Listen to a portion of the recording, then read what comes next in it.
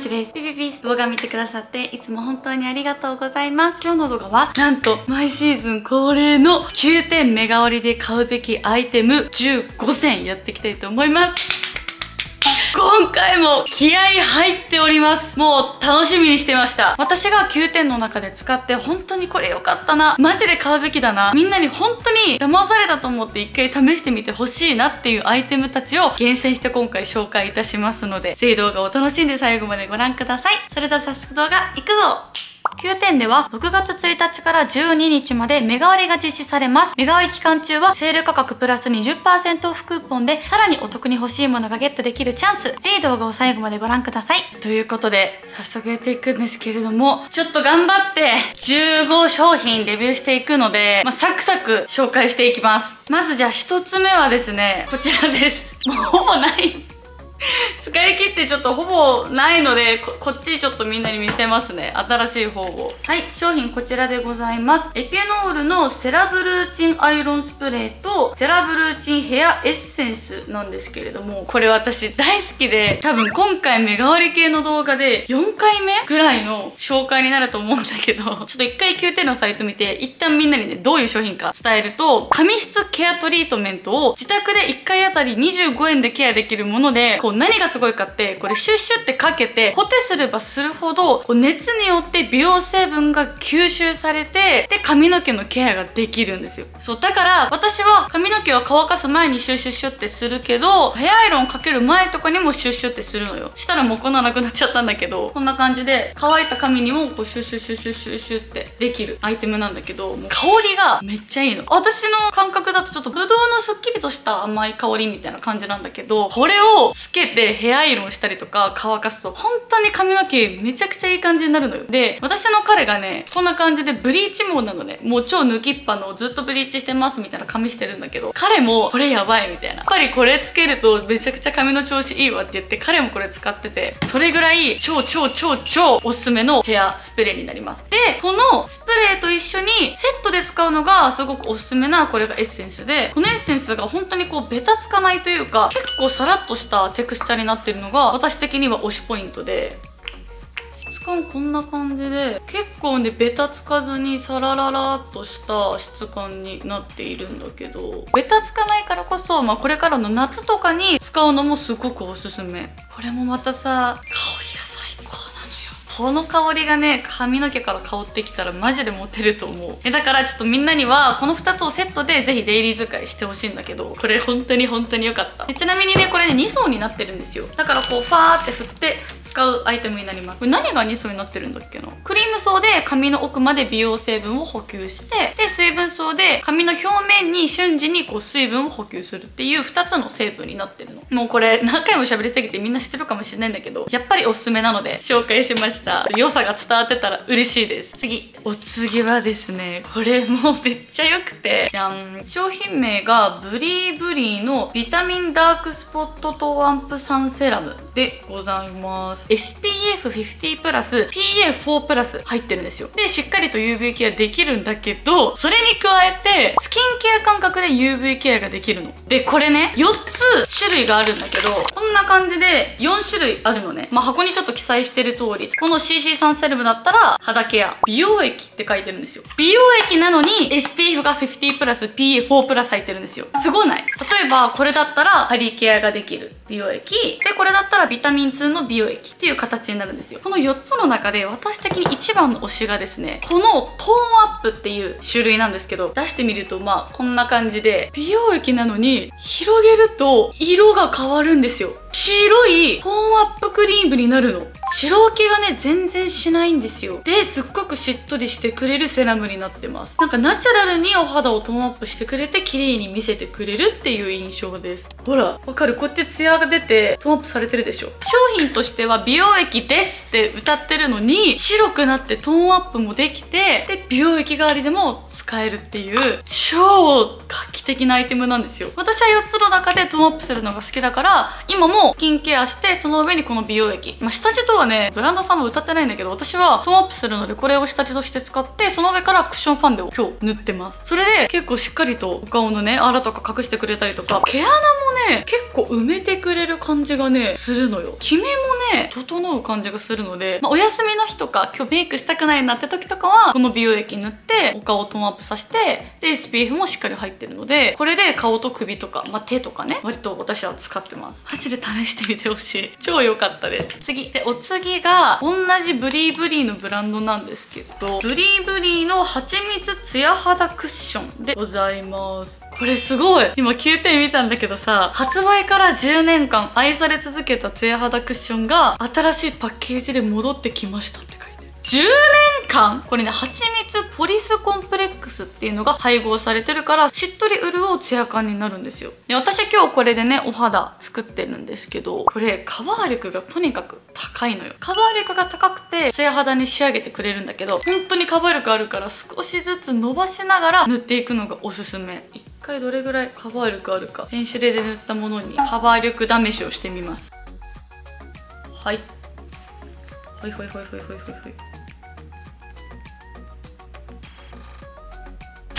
マジで消えた。めちゃくちゃカバー力あります。全体的に塗るとこんな感じで。結構トーンアップもしててカバーもしっかりされてるの分かるかな。でこのクッションファンデの何がいいかってツヤ肌に仕上げてくれて結構化粧持ちも良い印象で。で化粧持ちを良くするポイントが私的にはあるんだけどバーって一気に塗らずに少量を薄く薄く重ねていくと結構化粧持ちが良くなる印象でした。あとはねこれとねセットでね使うとねね結構相性良かったです。今日本当にツヤ系の部分下地みたいなの一切使っていないんですけどこんな感じで結構自然に内側から発酵してるみたいなツヤツヤなお肌を作れてるかなと思うんですけど。まあなのでカバー力があるクッションファンデが欲しいっていうかはもちろんなんだけど蜂蜜ポリスコンプレックスが配合されてるからなんかこうもっちりとした保湿感しっかりされてる潤うクッションファンデが欲しいって方にすごくおすすめです。ちなみに私は21ライトっていうカラーを使ってます。次お次がですねじゃじゃじゃん。ワンシングのシカピーリングトナーパッドでございます。これすごく低刺激で、まあ、ちょっと敏感肌だなっていう方とかでもすごくおすすめのトナーパッドなんだけど。でツボクサエキスが配合されてるトナーパッドで。すで何がいいかって拭き取ったらねザラつきが軽減されてこうつるんとしたお肌になるっていうのもそうなんですけど。私的推しポイントはなんと半分に切れますこれ超嬉しくない？なので、まあこういう感じで1枚でこうパックしてもいいし、こう部分的に自分の好きなところに貼ってもいいっていうところがめっちゃええやんと思って。水分量もすごくてさ、貼ったら超密着するの。こんな感じで。もうエッセンスがたっぷり染み込んだシートになっております。このガーゼ面が結構粗いね質感になっててでこの裏がふわっとした質感になってます。なので粗めのガーゼ面の方で小鼻とかの角質とか拭き取ってでふわふわの方でお肌を保湿したりとか部分パックするっていう形になります。私はね毎朝トナーパッドを使う派でいろんなブランドさんのトナーパッドを日々こう使ってる中でわこれめっちゃ使いやすいしなんかまあいつも使ってるトナーパッドにプラスワンでもう一個持っておくのもすごくいいなって思いました。次。でお次はこちらでございます。ワンシングのビタミンブライトニングマスクパックでございます。これお肌のお布団って言われてるパックでシートががねすごいのよ。超分厚くてもっちもちのこのシートなの。伝わってほしい。わ画面上で伝えると超難しいんですけど。もうね私これ初めて使った時に感動して。こんなに分厚いふわふわのシートあるってびっくりしたんですよ。広げるとまあこんな感じなんだけど。今まで使ってきたパックの1.5倍？ちょっと言い過ぎかな？って感じるぐらいすっごく厚手でもっちもちです。お肌の布団って言われてる理由がわかる。あー、なるほどね。これは、本当に美容液がたっぷりで、次の日までお肌がもちもちなんだけど、今9点で見てたら、たっぷりの美容液で、肌へと潤いと透明感を届ける、もちもちビタミンお布団パックって書いてるそうだから潤いと栄養成分を肌にしっかり届けて透明感のある肌にしてくれるパックなんだっていやマジでこのねお肌のお布団ってみんなに体感してほしいもうマジで美容液たっぷりだから。こんな贅沢パックありますかってぐらい超超超贅沢なのでちょっと今足にも塗ります。もったいないので。次。でお次がですねもう最近超好きなこのねちょっと香り系なんですけどこのねちょっと香り系なんですけどこちらでございます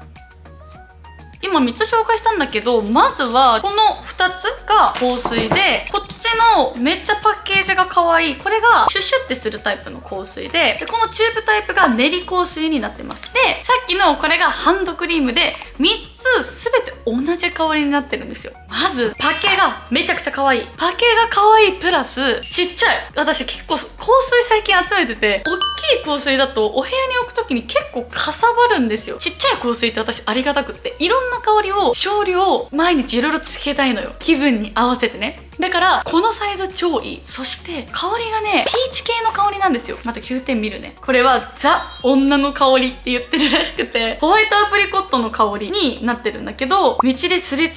う異性の人を振り返らせるような香りなんだって。女性らしい香りで甘すぎない感じで異性にもすごく好かれそうな香りになってるの。だから異性から一回りされちゃうかもよっていう香りなんですよ。でこれトップがオレンジとリーフでミドルが桃とローズでベースがジャスミンとムスクになってるの。でこれちょっともう一個すごいのが韓国のオリーブヤングの香水カテゴリーで1位取ってんの。で日本の9点の香水カテゴリーでも1位を占めた商品なんだって。そらへえよな。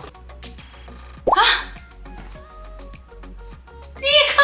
嫌いな人いないんじゃない？本当に老若男女問わずすごく好きな香り。甘さとすっきりさと若干清潔感と若干の色気みたいなのが詰まってるんですよ。ちなみに練り香水はこんな感じになってます。伸ばし方は絶対 美容系 YouTuber みたいになってるけどあやばいです。でこれをねこう手首につけてこうしたりとか首にねつけたりとかってするんですこれ本当にみんなにちょっと嗅いでほしいわ。私の推しポイントとしてはこの香水とハンドクリームのこの3つのセットで使うのが香りに統一感が出るっていうところでおすすめです。そしてそのねもう一つセットで使うのがおすすめっていうのがハンドクリームなんだけどこれもさパッケージが超可愛いの。可愛らしさもあるんだけどそこに高級感もあるようなデザインになってるからプレゼントとかにもすごくいいと思う。でこうやって回して出すタイプで。でもう一つ推しポイントが出る量が結構少量なんですよ。だからこう調節しやすいっていうのもすごくいい。で私このハンドクリーム、まあ、普通にこうハンドにつけるのもおすすめなんですけど私的には手のこ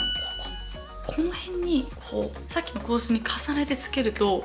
さらに香るかなって思ってこの辺に多めにつけてます。でこれ本当にね香り持ちがね結構いい。これ1回つけたらね割と持つから、まあ、この辺とほんとセットで出先では使うのがおすすめです。で私が今紹介した3つの香りがホワイトアプリコットっていう香りなんだけどじゃん。新しい香りがね出たんだけどこれがブルーミングピオニーっていう香りになってるんですけどこれはフローラル系のハンドクリームになっているんですけどこのフローラルもね超いい香りなの。こっちの方がね、どっちかというともっと女性らしい香りかな。もっと女性に近い、まあ、お花がね、メインの香りになるので。あー、いい香りフローラル系のね、香りが好きな方はこっちの方が好きだと思う。でも本当にこれ、竹も可愛いからね、全部プレゼントにもすごくおすすめです。次。でお次はですね今回も紹介させていただきます。前回か前々回かで紹介してるアイテムなんだけどこちらになります。じゃじゃん。スキン1004のセンテラアンプルになっております。これは美容液なんだけどスキンケアのこう途中で使うのもおすすめなんですけど私は一番最初の導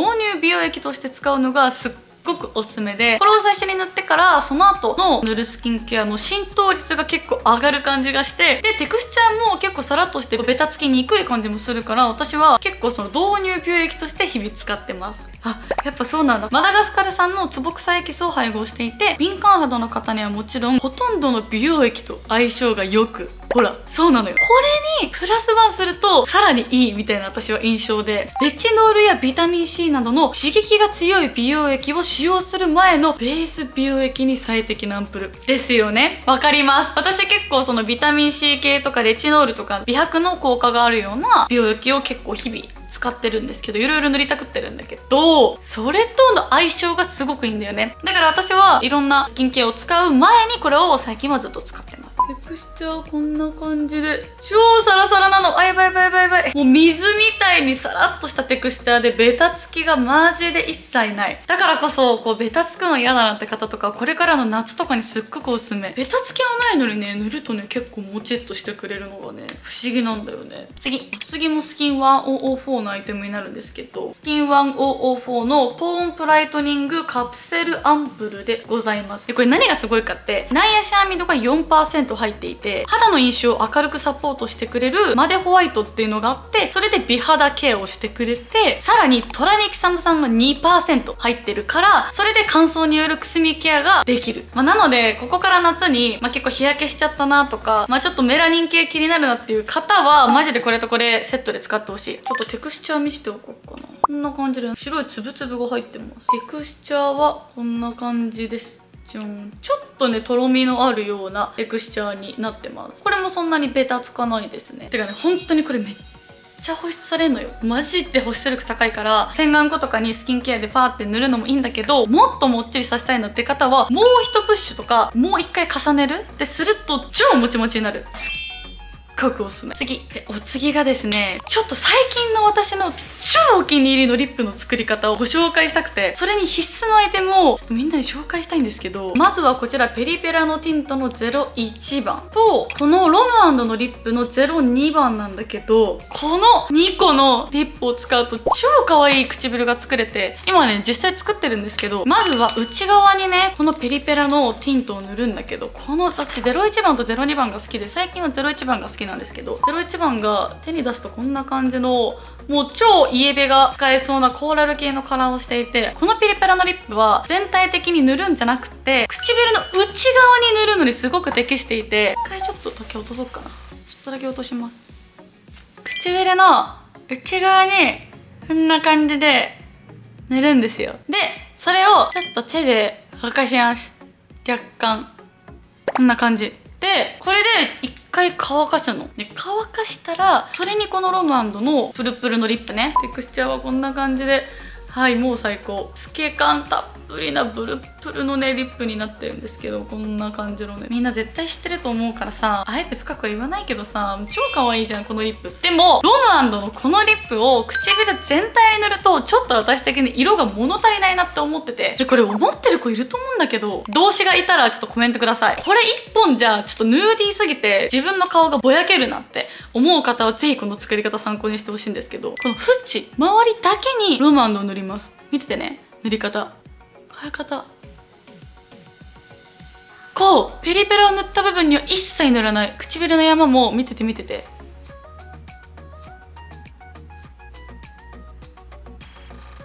すると超可愛い唇が作れるの。綺麗にグラデーションされてて2つの質感のリップを使っているから色持ちもすごくいいのでリップ持ちが。あのこのペリペラはティントになってるので内側だけしっかりと色が残ってくれるんだけど周りはこの色持ちがそんなしないプルプルタイプを使っているからうまいグラデーションでそのまま色落ちしてくれるんですよ。ムラが出ないというか全体にさティントを塗ってしまうと色が残ってるとこと残ってないところで落ち方がちょっと汚くなってしまうケースがあるんですけどこれは2つの質感をうまく良さを生かしながら塗ってるのでこの塗り方するとマジで超可愛い唇作れるのでそれを伝えたくて今回は9点目代わりにこの2つのヒントを入れさせていただきました。まあ、なのでそれぞれ好きなカラー選んでこの唇ぜひ作ってみてほしいなと思います。次。でお次がですねグリントバイビディボブのリップセリンの01番と02番でございます。これさ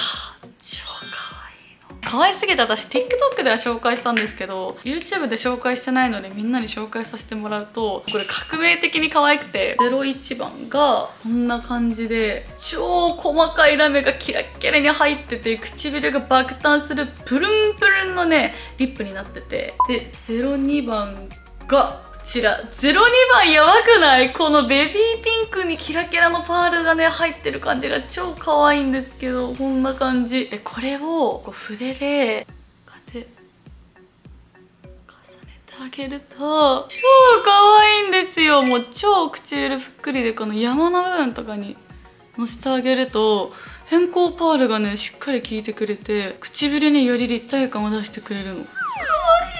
塗るとね若干スースーする。やっぱプランパーだから唇自体がこうめっちゃ大きくなる。痛いみたいな感じじゃない。結構ナチュラルなプランパーっていう感じ。だから、まあ、唇全体塗るのもおすすめだが私は普段塗ってるリップの上に重ねてより立体感を出すのがすっごくおすすめです。あと出力もあるから全体的に塗ってケアするのもおすすめ。次。でお次がですねこちらでございます。ピンスのアイシャドウパレットになるんですけど色味がめっちゃ私イエベ春なんですけどコーラル系のこの色がめっちゃ使えるのとこれをベースに他も深みのあるカラーとかあとハイライトとかもいろいろ入っててこれ一つでお顔が完成しちゃうというパレットなんですけどでここのチーク塗るとね光沢感が出るんですよ。ハイライトを塗ってないのにハイライト塗ったみたいになるの。みんなに見てほしくて今このチークまだ塗ってなくて上から重ねるのを見てほしいんですけどこうねこんな感じで。で塗るとほら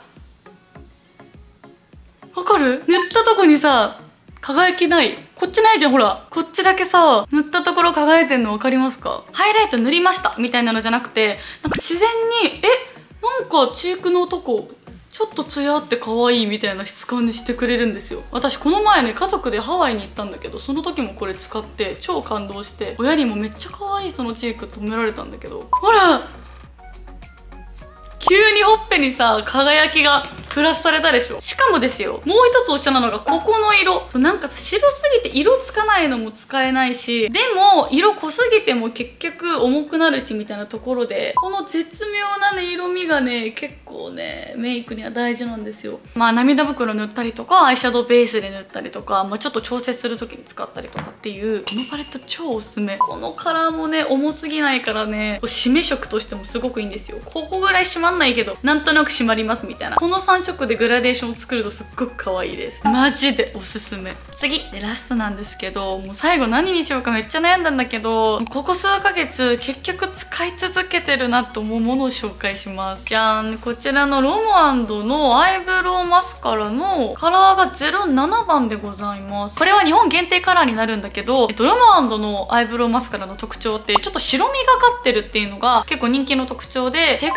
い黒地眉毛を垢抜け眉毛にちょっとこう色素薄く薄く見せてくれるっていうのが特徴なんですけどこのアプリコットタンって色味が本当に可愛くって。まあアプリコットタンって言ってるだけあって若干こうピンク味というか赤みがあるようなピンクベージュっぽい感じの色味になってます。で私は基本的にピンクメイクオレンジメイクをねすることのが多いのでこの色味を眉毛に使うとやっぱなんか色味がすごくメイクと合うというか統一感が出て垢抜け感がしっかり出てくれるなっていう印象なんだよね。だから結局アイブロウマスカラはどんなメイクにもこの色を使うことが多くって私前髪あるからさそんなに眉毛って見えないんだけどもやっぱりアプリコットタン使った方が顔全体的に垢抜け感が出るしまあ手強い黒眉をしっかりと撃退して色素が薄く見せてくれるのでやっぱりこれだなっていう。結構私の今回紹介した決め手としてはこれがなくなっももう一回絶対買うなって思ったので紹介しました。はい。ということで9点目代わりで買うべきおすすめ15アイテムだったんですけれどもいかがでしたでしょうか？今回も超